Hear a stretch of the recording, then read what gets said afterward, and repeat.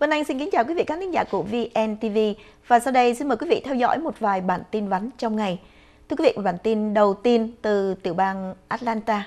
Cảnh sát truy bắt lái xe Uber Eats sau khi khách hàng bị giết ở Atlanta. Và ngày hôm qua, cảnh sát Atlanta đang tiến hành truy bắt một nhân viên giao đồ ăn liên quan đến vụ nổ súng làm chết người vào cuối tuần vừa qua. Cảnh sát Atlanta cho biết vụ nổ súng xảy ra tại khu phố Buckhead của thành phố Atlanta và nạn nhân là Ryan Thornton, 30 tuổi, đã bị giết chết khi đang đi ra khỏi nhà để lấy đồ ăn. Các nhân chứng khai với cảnh sát rằng người giao đồ ăn đến bằng một chiếc xe Volkswagen màu trắng và Thornton cùng với người giao hàng đã xảy ra một cuộc tranh cãi. Sau đó Thornton bị một kẻ khác bên trong chiếc Volkswagen nổ súng tấn công. Cảnh sát cho biết Thornton đã được đưa đến bệnh viện Grady Memorial và đã không qua khỏi. Được biết, Thornton đã sử dụng Uber Eats là một dịch vụ giao hàng thực phẩm và người giao hàng nhận đơn đặt hàng thông qua ứng dụng này. Phát ngôn viên của Uber cho biết Uber đang hợp tác với cảnh sát Atlanta để điều tra vụ việc đáng tiếc này. Tin từ Việt Nam, người Việt chi 18 triệu đô la mua hoa ngoại để ngắm Tết. Tổng cục Hải quan vừa đưa ra số liệu thống kê cho biết lượng nhập khẩu hoa, cây cảnh của Việt Nam trước dịp Tết Mậu Tuất đã đạt 18 triệu đô la, tăng đến 47% so với Tết năm ngoái. Các nước cung cấp hoa cho Việt Nam nhiều nhất là Hà Lan với hơn 5 triệu đô la, Trung Quốc 3.6 triệu đô la. Các loại hoa cây cảnh được nhập khẩu mạnh trong năm nay chủ yếu thuộc dạng cây sống, chiếm 7.9 triệu đô la, chiếm 43.8% so với các loại như hoa lan, đỗ quyên, vạn niên thanh, tùng cảnh. Các loại hoa cây dạng cũ được nhập khẩu đạt giá trị 7.6 triệu đô la, chiếm đến 42.1%. Các loại hoa dạng cũ được nhập khẩu phổ biến là hoa lily xuất xứ từ Hà Lan, đạt kim ngạch 4.4 triệu đô la, từ New Zealand đạt 1.1 triệu đô la, từ Pháp hơn 1 triệu đô la.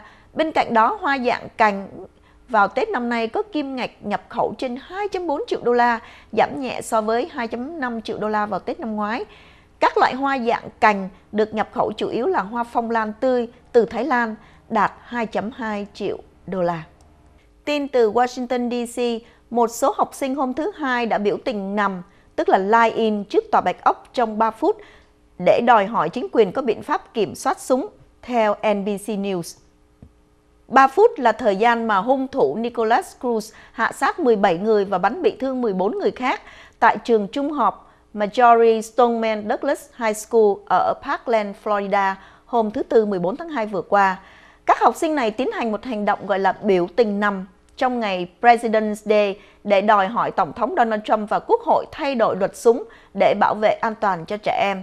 Nhóm tổ chức vụ biểu tình này, Teens for Gun Reform, kêu gọi 17 thiếu niên nằm trên mặt đất trước tòa Bạch Ốc. Thế nhưng sau khi họ nằm xuống, thì nhiều thiếu niên và người lớn cũng tham gia.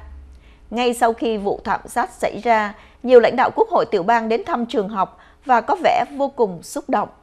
Ngoài ra vào lúc 10 giờ sáng, tùy theo múi giờ mỗi tiểu bang, ngày 14 tháng 3, học sinh toàn quốc dự trù bước ra khỏi lớp trong 17 phút, tượng trưng cho 17 người chết để phản đối luật súng hiện hành. Vào ngày 24 tháng 3, các học sinh dự trù tổ chức một cuộc tuần hành mang tên March for Our Lives ở thủ đô Washington DC, kêu gọi thực hiện an ninh trường học và kiểm soát súng. Tin từ Washington DC, Tổng thống Donald Trump sẵn sàng cứu xét đề nghị cải thiện hệ thống điều tra lý lịch của chính phủ liên bang khi người dân Mỹ mua súng, đặc biệt là những người bất ổn tâm thần.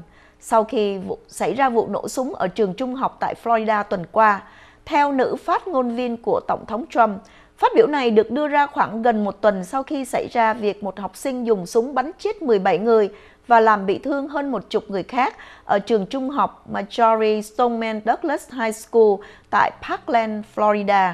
Bà Sanders xác nhận rằng Tổng thống Trump hôm thứ Sáu đã nói chuyện với Thượng nghị sĩ John Kennedy về một dự luật mà ông Connie cùng đưa ra với Thượng nghị sĩ Chris Murphy.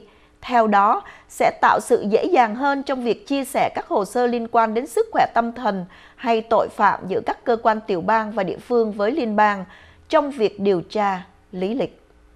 Tổng thống Trump, người nêu lên các tin tức cho rằng nghi can nổ súng ở Florida có vấn đề tâm thần cũng như chỉ trích FBI không chịu điều tra kỹ càng sau khi có cảnh báo cho đến nay vẫn ngần ngại không ủng hộ các biện pháp kiểm soát súng.